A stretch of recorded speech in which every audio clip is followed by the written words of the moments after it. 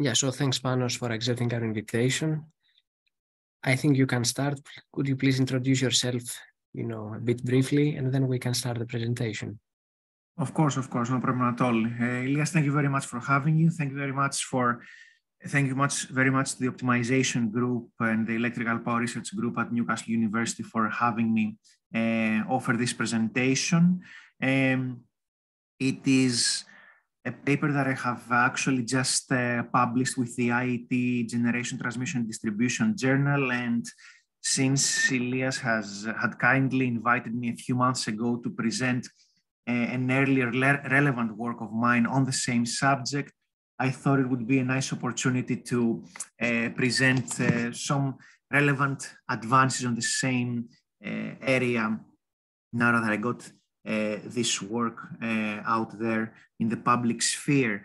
Um, generally, what uh, would make more sense uh, for me as an introduction would be to tell you what really uh, keeps me awake at nights, and that would be how to, uh, as widely as possible, introduce and integrate uh, renewables and especially that of the volatile kind in electrical grids. To do that, I'm uh, usually using data-driven uh, methods, whether for optimization or control, even though I have also done some work on um, automatic control and system modeling, and of course have uh, uh, worked on multiple standard working groups for which I also encourage you to join and contribute with your expertise and experience. And for that reason, I'm also encouraging you uh, to reach out and work within your engineering networks with um, institutes like the IEEE, the IET, in the case of the US, the North American Synchrophasor Initiative, and uh, try to engage also with the industry and the utility in the what we would like to achieve the 100% decarbonization of the electrical uh, grid. No effort can be spared and no stone may be uh, unturned. So uh, I strongly advise and encourage all of you to try as much as possible and reach out within your networks, work with them, work for them, and uh, let's push this forward. The COP27, the COP27 activities have just been concluded with not the most optimistic results, but somehow better outcomes than the previous.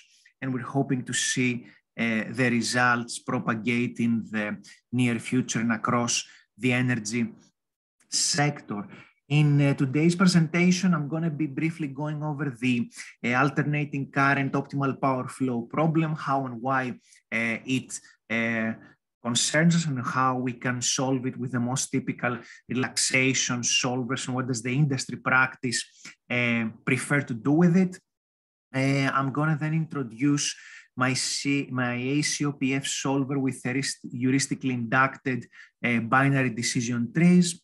Uh, the proof of the global optimality of the solution, which has been largely corroborated by uh, results uh, comparing uh, through the PGLib, the Power Grid uh, library of the corresponding task force. Uh, then I will raise some concerns about the time efficiency of the method and how this connects to my previous presentation in the same group that has to do with hot starting the ACOPF uh, solvers in general with linear approximations. And then I'll point um, to some uh, concerns about the path forward. Now, to many of you, it might sound pretty, I would say mundane, but I always like to remind ourselves that the reason why we care about electrical power systems is because that we need energy, energy being whatever heats, moves, elevates, and in general produces work in our everyday and the time derivative of energy of that being active power. Active power has typically in large power systems eh, a, fu- eh, a function and a dependence with what we call the voltage phase angle. And with electrical power systems being, being mostly inductive systems because of the transmission system in between, the larger the voltage angle between a sending node, a generator, and a receiving node, usually the loads, denotes how much active power is transferred over a line. Now, why do we care about having a good estimate or a good uh, understanding of how the voltage angle behaves in power systems? Well, because in uh, turn, the voltage angle and its own derivative, which is the electrical rotating frequency, gives us an indication of whether or not we have the active power system equilibrium, meaning that the generation of all our resources equals the demand and plus the grid losses. Otherwise, if there is no uh, active power equilibrium and thus the electrical frequency of the system is beyond its nominal uh, value, we're going to have increased wear and tear of our devices, damages, and eventually, eventually at the worst case scenario, system collapse. Something that we were not too far away during the 2021 Uri winter, winter storm in uh, Texas, when the frequency dropped significantly low from its nominal 60 hertz. It stayed there for several seconds. If, and if for a few more seconds this really, really negative uh, status would have been sustained, we would have seen a total Texas electrical grid collapse. This excursion of the frequency much far from its nominal meant that the active power generation was definitely lagging by a lot the demand on the losses of the power system. However, even though active power is the main driver, the energy is the main driver behind a power system operation, we also have something that, you know, comes with the package of power system operation itself. And this is the voltage. Voltage in turn being a matter of properly controlling reactive power. Reactive power is what is necessary in order to essentially compensate the voltage drops, the uh, voltage as uh, it uh, you know, as current goes through the system, and because you know we have Ohm's laws and stuff like that, uh, the grid physics are always there to creep up on us. We get a drop of voltage from the sending nodes of the generators all the way to the loads, and because mostly the electrical grids are inductive, the drop of voltage needs to be compensated with reactive power. So what we have uh, to be aware of when we're thinking about electrical power system operation is that it is a multifactorial problem. We need to uh, serve uh, energy demand, but at the same time, we need to make sure that the parameters of the system and the operating characteristics of the system, including voltage uh, magnitudes and voltage angles, are kept in check and control, which in turn leads us to the higher, to the broader uh, level view of the power system as the, bigger, the biggest machine in the world. So this is why we need uh, to think of how we operate the electrical grid, not on a second to second basis, meaning that we just wait for things to happen. We need to plan ahead. And this is where the AC optimal power flow comes in. The AC optimal power flow is practically nothing else but making sure that our demand is covered by what we would perceive to be the cheapest energy resources, while all of the power system uh, operating characteristics, operating uh, status are kept, uh, study are kept into check according to standards, limits, and so on. Now, the AC optimal power flow problem is described broadly uh, by this mathematical setup. Uh, I'm just going to go briefly over it like this. Uh, describes the economics of the system that we need to optimize, practically minimize to get the best social welfare cost for energy.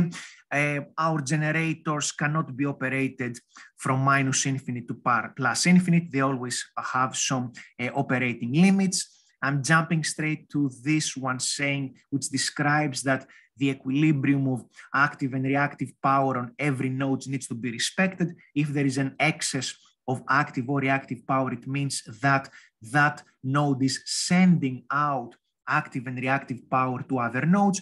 If it, there is a, a deficit of, of the equilibrium on any given power system bus, it means that bus is absorbing active and reactive power sent to it by other buses. Then the voltage magnitude, as we described earlier, needs to be kept between some certain limits for reasons of equipment, proper operation, and so on. And lastly, that the total active and reactive power transferred through mostly the transmission system needs for every line to be kept within limits. Otherwise, what is going to happen? The line is going to get overloaded, sag, get destroyed, and so on. Now, all of these are the limits, but the most important part of the ACOPF problem are the grid physics, this being essentially, as I would like to describe it, a glorified version of the voltage drop uh, over a line, the IJ line. Now, at the uh, at at a simple glance on it, you can see that it is definitely a non-linear and non-convex uh, equality constraint, which is the reason why we practically cannot solve the ACOPF problem in meaningful time. Meaningful time being that if something happens and we need to solve the, the problem on the fly, we do not have that time to uh, properly extract the correct solution that is going to be uh, exact with this grid physics in consideration. Hence, the ACOPF problem is what it has been proven to be an NP-hard problem to solve. Non-polynomial uh, time is required, is required to uh, solve it. And for that reason, multiple approaches have been considered for the past several years. Relaxation of the ACOPF, nonlinear and heuristic solvers, as also linear approximations relaxing the ACOPF problem is a, a, good way to solve it in the sense that there it comes at some at some cases with guarantees that we are actually solving for the exact solution of the ACOPF uh, problem and with a way that is at least tractable but still not uh, computationally efficient since in the case of the most typical relaxation, it increases the size of the problem by a, a factor of n to the power of 3 or n to the power of 8, where n is either the size of the uh, problem, the, the variables, and so from that you understand how more complicated, how more, how much larger the problem becomes in order uh, to solve it. Um, for most practical cases and in radial networks, the relaxations to the ACOPF can give an exact and globally optimal solution. However, in the broader context, in uh, if we would put it kind of harshly for any case and grid, there are no guarantees that uh, at, and at least a priori guarantees that the relaxations to the ACOPF will actually solve it. Now, uh, other approaches to the ACOPF solution are the nonlinear and the heuristic solvers. IPOPT is the most typical one used by several researchers. Uh, it gives always a feasible solution, but doesn't have global optimality guarantees. Other uh, more heuristic methods, artificial intelligence and machine learning methods are the ones listed, evolutionary programming, genetic algorithms, particle swarm optimization, and so on. The highest level comment I want you to keep out of this slide is that all of these methods have invariable challenges in algorithmic setup. You need to get your solver, no matter what it is, uh, and formulate the ACOPF problem in a formulation for these solvers to solve it. And on top of that, we cannot uh, expect to get global optimality guarantees. Uh, as for the industry itself, uh, in order to in order to solve the ACOPF, you know, because okay, so the math and the framework are there for us to contemplate and try to uh, do fruitful research and solve it. But the, in the meantime, the power systems and the electrical grids actually need to work. How do they deal with it? They prefer linear approximations to the ACOPF. Most of the industry software out there also uses linear approximations, with the most typical one being the DC uh, OPF. In my previous presentations in the same group, I have um, talked in length about linear approximations, and I'm going to be referring to them again towards the end of this presentation. Uh, and if we need to be very practical and very forward looking, the practical OPF based problems are much larger, larger, security constrained OPF, system planning. So linear approximation to the ACOPF for this problem seems to be better fitted in order to move uh, forward with this.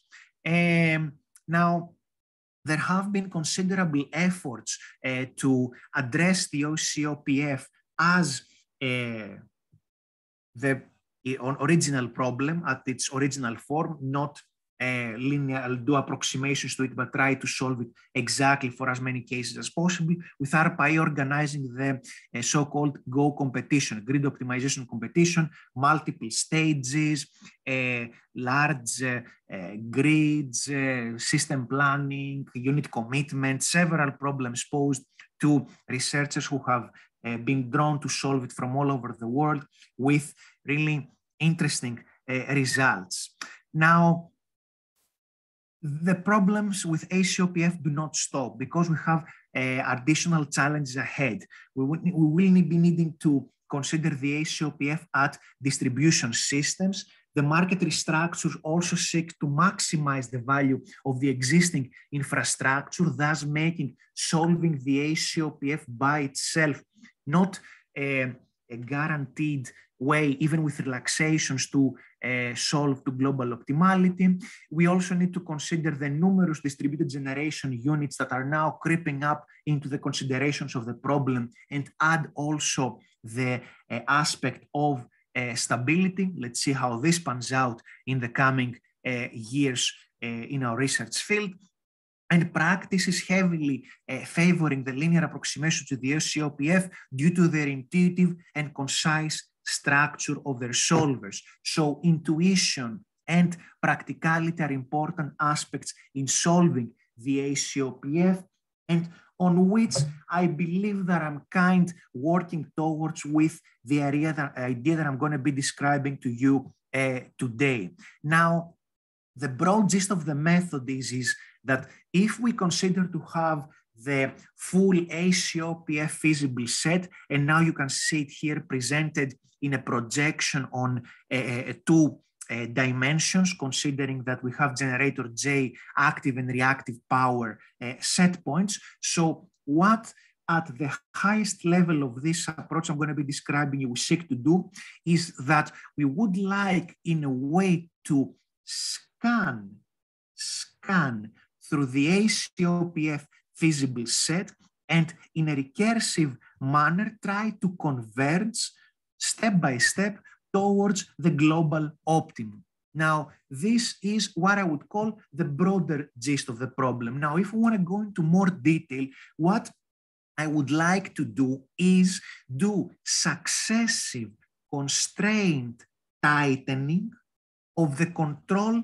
variables of the what we would call in let's say high school math the independent variables. Independent variables of the problems are those that we can actually control. In the case of our uh, problem the active and reactive power of the generating resources. If we can somehow somehow scan again as i said through the feasible set we want to find a way to at every step define, oh, okay, if, if we knew somehow that the global optimum is this way, in this direction, we would like to first say that, okay, the active power of generator uh, J, okay, it could not be less than Pj. Okay, Pj BDT1, let's call this point. So we do not care about this part of the control interval of active power of generator J. Then, again, if we somehow knew and could uh, uh, guess, sort of speak, what is the global optimum, in the next step of the same method, we would like to exclude part of the control interval that is above PG, PJ, excuse me, BD2. And then we can do the same thing in successive steps for reactive power, limited from the upper um, from the upper side, limit again the active power from the lower side, and in general, step by step from A, B, C, D all the way to E, converge to a, a set point that is near the global optimum. This is what we would like to do. Now, how do we do it? Well, the first step is that we want to somehow randomize. We first of all want to create, excuse me, let me go a step back here. What we want is a sample, sample the feasible uh, space here somehow, and then start constraining the active and reactive power towards uh, the global uh, optimum. So the idea is how do we sample the ACOPF feasible space? Well, it is not particularly challenging. The first step is to create a random dispatch. So let's assume that we have all our generators in the power system available. We know their intervals, and we take a random uh, dispatch of all these generators, excluding the slack bus. Then we do a fast decoupled Newton-Raphson to extract the dispatch of the uh, of uh, the slack bus, and with this random dispatch set points passed through a fast decoupling Newton-Raphson, we'll make sure that this dispatch is ACOPF feasible. Once we ensure ACOPF feasibility, we do that, of course, through the constraints of the ACOPF problem that I presented earlier, we would have a nice set of possible random uh, dispatches for an instance of the ACOPF. Now, from these random ACOPF feasible dispatches, which we will call for the use of the decision tree discussed earlier as true, we set those dispatches that are more expensive than the median of all these dispatches as false. So what we do is that we essentially sample the whole feasible space. We keep any dispatch that is within the feasible space and we treat it as a correct or a true dispatch. Everything that is outside the feasible space will be labeled as false. And then from the feasible ACOPF dispatches, we will then find the one that has which one is the median cost. For example, if all the feasible ACOPF dispatches range from, I don't know, from $10 to $1,000 and the median, the median is $500, every dispatch that is cheaper than $500 is labeled, is keeping the label true. Everything that is more expensive than $500 is labeled as false. So these would be the true dispatches the true dispatches on this part of the feasible space, this would be the false ACOPF feasible dispatches. Now, with these false dispatches here and true dispatches here, what we want to do is we want to try and extract for which kind of dispatches we get this better cost performance while being ACOPF feasible.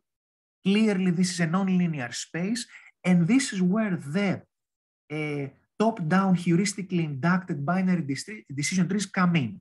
What this decision, what this tool will do is it will take all the true and false dispatches. They are true for very specific reasons. They are false for a number of reasons.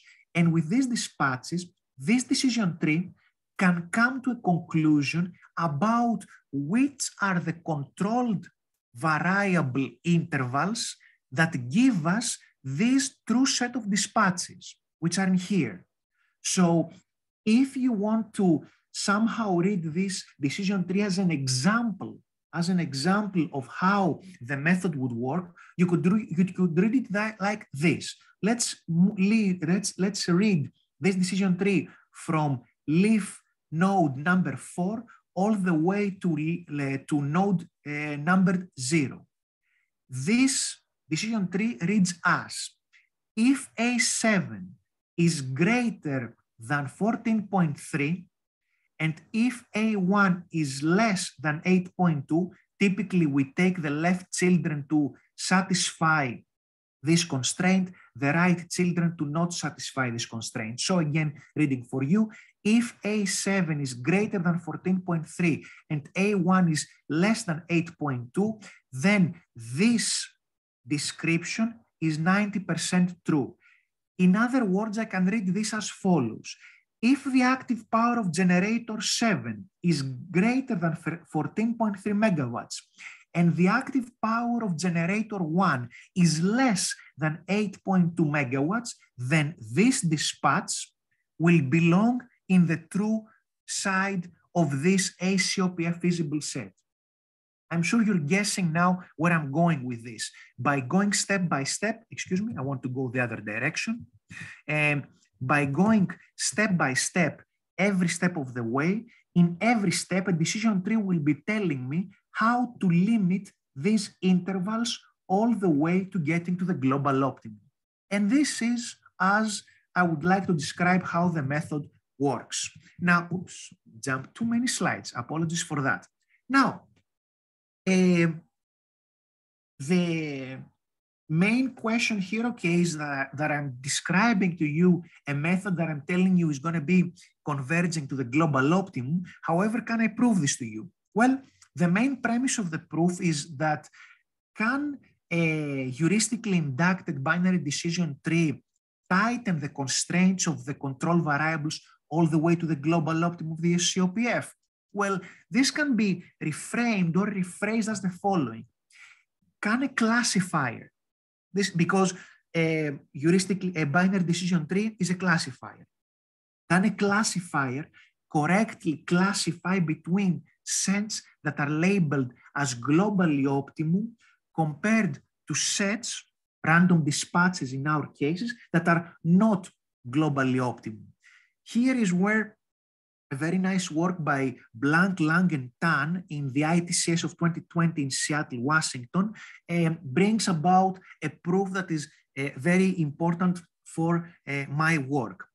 there exist top-down heuristically inducted binary decision trees of bounded min-max size. So we know that they have a minimum and a maximum uh, size. We also know that this size of this decision tree is non-optimal that can, that can classify a function f uh, as an optimal classifier does. This is crucial because this proof guarantees that if there exists an optimal classifier, the optimal classifier can be purely theoretical classifier, then there exists a binary decision tree. Binary decision trees have been around for several years. I think there are now more than 30 year old 30 year old tools.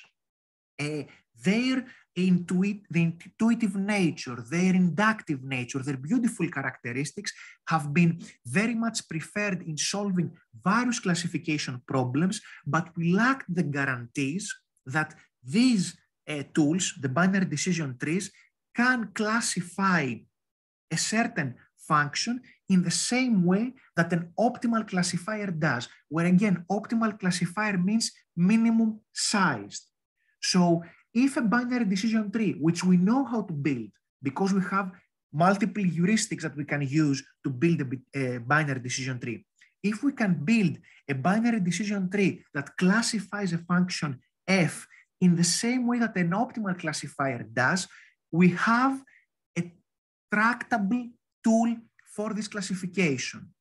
So this proof is really important. So with this proof in mind, what we need to do in order to say that, in this case, my method uh, converges all the way to the global optimum of the ACOPF is the following. We need to prove that there exists an optimal classifier, a minimum sized classifier for the ACOPF sampling problem. Well, here is the proof. Let's assume that the globally optimum uh, solution of a given ACOPF system is the uh, P star Q star for all the generators in our, for all the uh, dispatchable uh, resources in our problem. Now, it is not much of a stretch of an imagination to say that the globally optimal solution is not just one very specific point of uh, dispatch for any generator, which is practically not even true. A generator, for example, cannot be uh, dispatched at 13.3798 megawatts. Clearly, it can have some kind of step kind of uh, uh, control at more, I would say, rounder numbers. So practically, we can say that the globally optimal solution is actually a very small vicinity uh, in, an, in a vicinity epsilon of the global optimum solution. Any dispatch that is beyond this epsilon of this uh, globally optimum, we can consider it to be non-globally optimum. So what I will now claim uh, for the existence of a theoretical classifier for this sampled space is the following. There exists a Bayes classifier that can uh, classify the global optimum vicinity of dispatches from the non-globally optimum uh, dispatches for this ACOPF instance. To prove that, I will negate its existence. I will say, okay, this Bayes classifier does not exist, and I will go by that. If that Bayes classifier that not, does not exist, then it means that all these samples, the ACOPF samples that I'm that I am that the AC uh, uh, OPF feasible samples that I'm that I'm presenting to you here have random nature. This is what negating the existence of a Bayes classifier essentially mean. However, all these points that I've shown you here are ACOPF feasible. So they must abide by the ACOPF constraints. So they are definitely non-random in nature. Also, by labeling these uh, control set points within vicinity epsilon of the global optimum as globally optimum as the global optimum itself, and the ones farther than that, non-globally optimum, I have also uh, given them a separation. So not only are the, uh, these points non-random because of the grid physics, they are also non-random because of the labeling that I gave to them. By recursively expanding the vicinity epsilon and the global optimality, instead of saying global optimal, we'll say, okay, I am uh, optimal by this threshold of the objective function, I can expand to the whole feasible space and thus prove that the convergence of the method to global optimality is guaranteed by the Bayes classifier optimize uh, classifier. So the existence of uh, an optimal classifier, the Bayes classifier in this uh, example, has been proven. With that, I build on top of it and say that if a Bayes classifier exists, then there exists this heuristically inducted binary decision tree that solves the exact, the exact same problem of classification. Now, even though the proof, you know, kind of gives us the uh, response here that we were uh, that we needed in order to say that it is a globally optimal uh, solution, I'm also going a step further and I'm using the uh, PG library and the Nesta library examples to show you exactly that. And what you see here is the performance of the optimality gap from the IPOPT in the uh, PGLib, uh, as also how uh, the method I propose here compares to that. Whenever you see that the GH turns negative, it means that the here proposed method not only converges to the global optimum similarly to the IPOPT, but it actually outperforms it. And comparing to other methods in the recent literature, we can see that uh, this proposed method performs similarly or outperforms other methods of relaxations, nonlinear or heuristic solvers, and so on. So in general, the convergence to the global, the convergence, the global optimum with this method gets uh, some more, let's say, confirmation by, by our testing here. Now, okay, we do converge to the global optimum. We proved that, we've shown that, but, you know, we are not actually claiming that we have gone beyond the NP uh, complexity of the ACOPF because what comes up and creeps into the problem is the time efficiency. Now, the time efficiency of our method is not too bad. As you can see here, it takes some milliseconds for generating any given binary decision tree. Uh, but the thing is that the larger the decision tree will be becoming, the more time it will need in order to be uh, extracted. And every decision tree is essentially a dispatch of, excuse me, is a constraint tightening of the control variables. So we need to do it recursively. So the multiple steps that we take in the ACOPF feasible region search, the more decision trees will need to be generated. Also, at every step of convergence to the global optimum, we do not only generate one decision tree.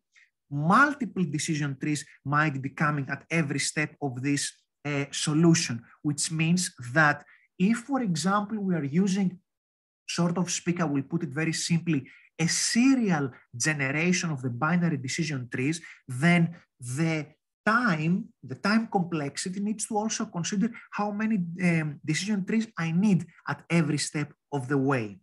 Um, very simply put, this method needs improvement and needs some uh, more clear consideration about how to accelerate it. Because all these uh, descriptions up to this point have been made under the assumption that I'm solving with a cold start, I have the whole ACOPF feasible space in my availability, and I am searching through it in order to convert to the global optimum. Clearly not the ideal way to go about it. So this is where we're going to go and link this presentation today with uh, the one I've given some months ago to the same group. And I'm glad I'm making this uh, whole circle back to this. Um, first of all, hot starting the method can be done as most typically all of us know with some kind of linear approximations. We use linear approximations to either the ACOPF or the power flow problem. Very typically, it is very usual. Typically, the DCOPF is used. It is no surprise there. And I'm going to go a step further and give you a nice uh, information uh, nugget here. We might use existing libraries or trusted intervals of generator control. According to uh, some uh, grid codes, at least here in the US, uh, within NERC, uh, it is typical that generator dispatches at the system operator level are not practically within any set point of generator intervals. The generator intervals and the combination of generator set points when solving the ACOPF, practically when an operator does dispatch, because it might be a little bit I would call it less nuanced than the ACOPF mathematical framework, uh, it needs to have been already assessed and exhaustively tested. In other words, at least in the US, system operators do have libraries, sort of speak, of set points of operation of their generating resources, which means what? That given existing, given well-known generator dispatches, we can scan through them and have a hot start through the existing uh, set point uh, of typical and trusted operation. Uh, so with that, we can avoid just going through the whole ACOPF feasible space in order to converge to the global optimum. And this is where I'm reminding you, just for the sake of the linear approximation, what is the good stuff that the linear approximations do? The linear approximations are practically uh, uh, in, uh, making easier for us to solve the ACOPF problem as they're making it practically a polyhedral and with that various well-known methods of linear of linear programming may be used. Now, however, the problem is that when we employ a linear approximation, we practically do not know how the global optimum of the linear approximation will be closer or farther from the uh, feasible space and what does this mean for the quality of the hot start solution. So for that, in my previous presentation, I would have I, I, I showed you the uh, what I call the uh, feasibility gap, the feasibility gap being essentially the uh, Euclidean distance of the global optimum of linear approximations from the feasible space. And with that, we can create shorter, smaller intervals of the control variables nearer the, uh, the what we perceive to be the global optimum solution of the original ACOPF problem. And with that, hot start the uh, ACOPF constraint tightening of feasible space search that I presented to you in the previous slides.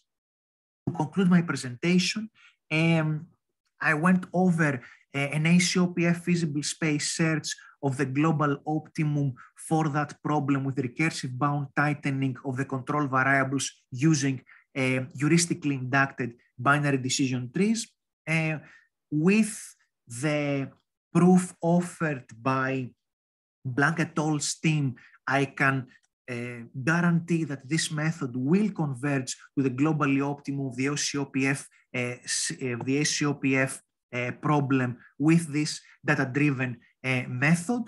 Uh, we need to consider thoroughly and dig a little bit deeper on the time efficiency concerns of this method, hot start being one of them. Stochasticity robustness features uh, are coming with this method. Even though I didn't discuss them in this presentation, you can read a little bit about them uh, in uh, the paper. It is now available also in the IET GTD site. And last but not least, my experience with using the PGLib cases, the Power Grid library cases of the IEEE PS task force group. I strongly uh, advise and encourage you to do so, you all, uh, in order for us to start uh, using the same reference of, of performance, of performance comparisons. And with that, I want to thank you for your attention and I am available for any questions and comments. Thanks, Panos. Thank you very much. That was very interesting. Uh, I think now we have a bit more people. So uh, I think Sahab, uh, Sahab is clapping, I think, but I think Sahab must have a question because he's an expert on these things. Or Sahab, do you have a question or not? Uh, yeah, uh, thank you, Panos. Very nice presentation, very impressive. And I could see you are very passionate about the topic and as well as being uh, an ah, expert. Sorry, sorry, excuse me, excuse me. Sorry, I think I need Can to you stop hear recording, me? right? I think yeah. I need to stop recording, right? Yeah, yeah, sorry, okay. sorry. Yeah, yeah, I can we can hear you. Yeah, please continue after I stop recording.